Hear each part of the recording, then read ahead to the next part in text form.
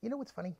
In over 12 years of working for small and medium businesses, providing regular Google Analytics and Search Console reporting on a monthly basis, I've had less than a handful who have ever even asked a question about what their report shows.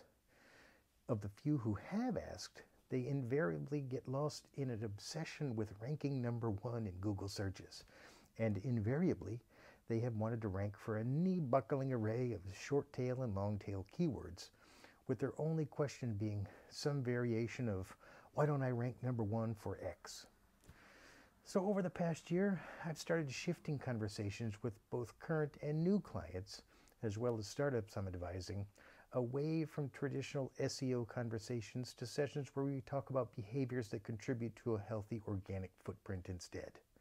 Because the bottom line is that almost nobody who runs a business really cares about their SEO. What they care about is driving their website the right traffic that brings the right visitors who are doing things they want them to do while they're on the site. Marketers, founders, and business owners care that they're getting valuable eyeballs to their website and that their site visitors are doing things like buying, contacting, submitting leads, downloading white papers, etc., that grow their business. Okay, then. So, what are a few SEO behaviors you, you can work on developing? Here's just three things you can do starting today to get started. Number one, write to be understood. When you're writing headlines on your site, write so the headline clearly explains what you're talking about. Use words people might use when searching for your product or service. Write simply and succinctly. You can always be cute elsewhere, but you want to make use of your headlines to summarize what your page is about quickly.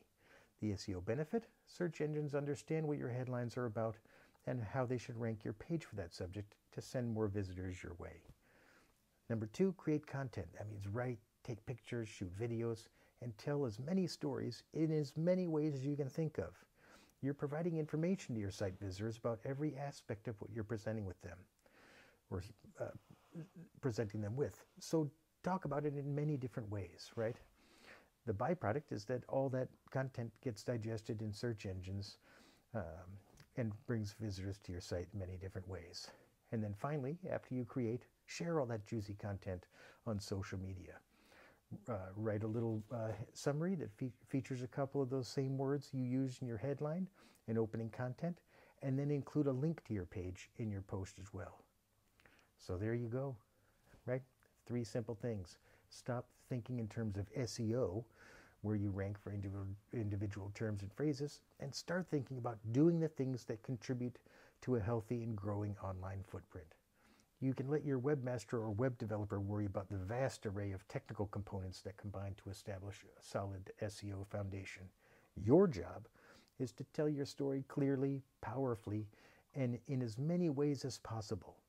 A byproduct of all that activity will be a growing and improving organic search ranking profile.